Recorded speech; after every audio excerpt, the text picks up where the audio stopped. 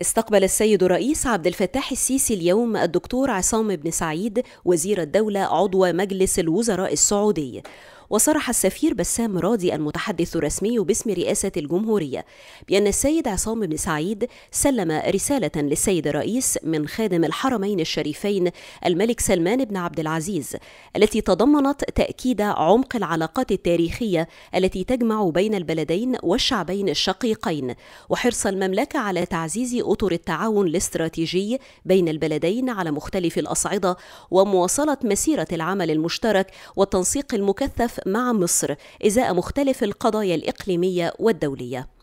وأضاف المتحدث الرسمي أن السيد الرئيس طلب نقل تحياته إلى شقيقه العاهل السعودي مؤكدا سيادته الطابع الخاص والأخوي الذي تتسم به العلاقات المصرية السعودية لما تمثله من ركيزة لاستقرار المنطقة العربية لا سيما في ضوء الظرف الدقيق الذي تمر به الدول العربية والتحديات المختلفة التي تواجهها.